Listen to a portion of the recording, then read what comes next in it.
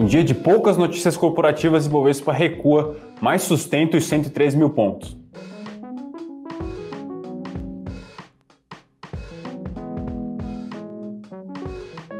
Olá, investidores, bem-vindos ao fechamento de mercado da Levante desta quarta-feira, dia 9 de dezembro, com um noticiário corporativo bastante esvaziado né, ao longo dos próximos dias. Veremos essa dinâmica, né, as empresas apresentando poucas novidades né, na medida em que a gente se aproxima aí das festas de final de ano, né? Bom, mas a despeito disso, temos algumas notícias aí de cunho mais macroeconômico, político bastante é, importantes, né? Em primeiro lugar, temos aí alguma, uma certa indefinição quanto ao pacote de estímulos nos Estados Unidos, né? Aquela disputa entre democratas e republicanos, qual que vai ser o tamanho desse pacote, e por aqui segue também a indefinição a respeito da PEC emergencial, da votação, né? Aquilo que a gente falou na segunda-feira, é, essa pedra no sapato né, da política aqui brasileira segue incomodando e gerando algum ruído aí no mercado. Né? Bom, hoje o Bovespa recuou 0,7% e fechou um pontinho acima dos 103 mil pontos.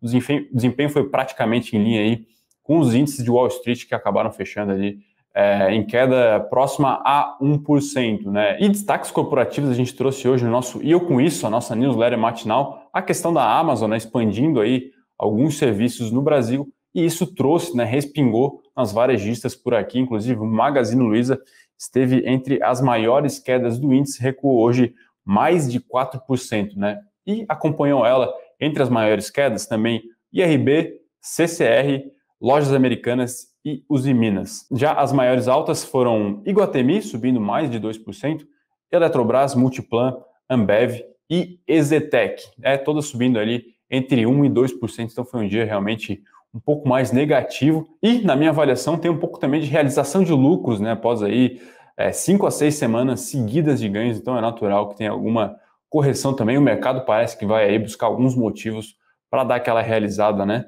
É, após esse rally todo aí de final de ano, principalmente após as eleições nos Estados Unidos. E além de todas essas questões de cunho mais político, macroeconômico, tem a questão da vacina que também vai fazendo preço no mercado, né? A gente acompanhou aí nessa semana, né, o início da, da, da vacinação no Reino Unido. Hoje surgiu lá a notícia de dois casos de, de reação alérgica, né? Então parece que vai ter ali alguns alertas para isso. A Pfizer agora também foi aprovada no Canadá. Em breve aí deve começar a vacinação por lá. E aqui no, no, no Brasil, provavelmente no final de janeiro também começaremos é, as nossas vacinações. Então é isso, né? O mundo vive aí uma espécie de segunda onda, mas os mercados em algum grau vão negligenciando à medida em que vê essa espécie de luz no fim do túnel com a liberação e com o início das campanhas de vacinação mundo afora. Bom, então é isso, pessoal. Lembrar sempre que você pode nos acompanhar no nosso Morning Call diário, no fechamento, sempre final de tarde por aqui, e nos relatórios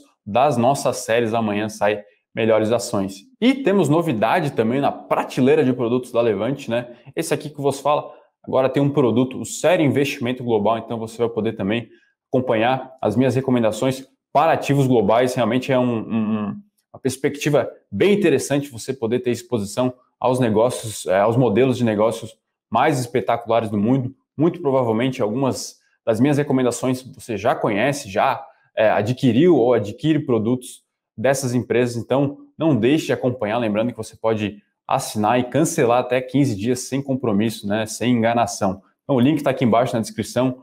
Não deixe de conferir. É isso, pessoal. Forte abraço e até mais.